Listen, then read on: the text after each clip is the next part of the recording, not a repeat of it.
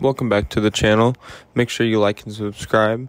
Enjoy this interview we conducted with Ohio Premier Basketball. Hey, I'm here with Chuck Painter, with the coach of Ohio Premier Basketball, with their win, second win of the day over GYP uh, basketball. What do you have to say about that win today? Well, that was uh, BYT out of uh, Marysville. They were a very tough, gritty team, uh, well coached. Um, first half, they were out hustling us, out rebounding us, and we were down at halftime.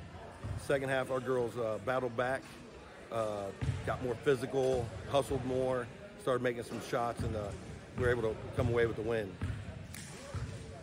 I just like to say, uh, super proud of this team. It's uh, we got four returners, so we got four new pieces, and only a couple practices. Really didn't know plays, and they came out and they looked really good. They made me look good. So super proud of them going 2-0, and we'll see what tomorrow brings. Hopefully we can get in the championship and uh, bring home the hardware. OPB, baby. Like, subscribe.